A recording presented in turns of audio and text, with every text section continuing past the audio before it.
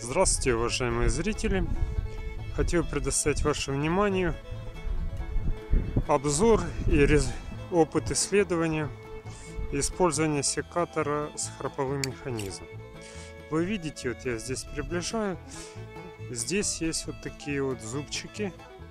Благодаря этому секатор, который режет, отличается от других, то что на ветку режет за несколько приходов. Ну, к примеру, возьмем вот ветку я сейчас направлю раз, два. За два прихода. Если был бы обычный секатор без вот этих вот зубчиков, пришлось бы резать за все за один приход. Поэтому он эффективен. Если приходится резать толстые ветки, ну особенно если приходится работать женщине, потому что как бы женская рука на тоньше немного слабее, чем мужская.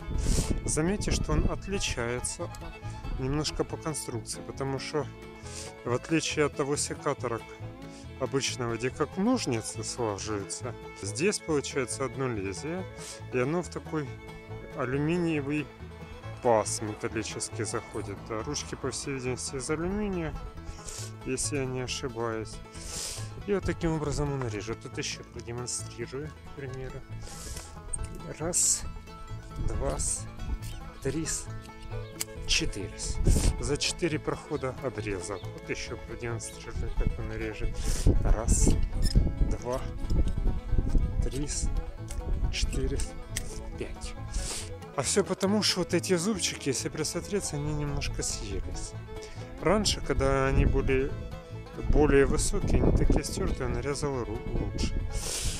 Что я могу сказать о его работе? Ну, давайте тоненькую веточку возьмем.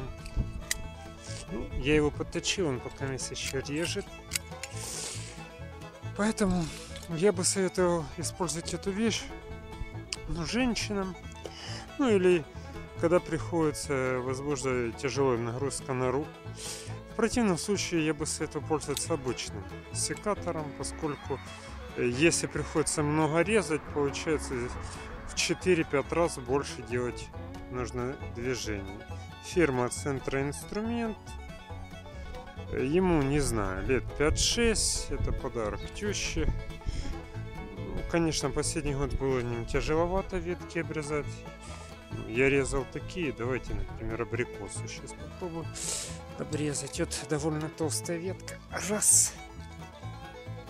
Два. Три. И вот зубы съелись. И вот вам, пожалуйста. Четыре.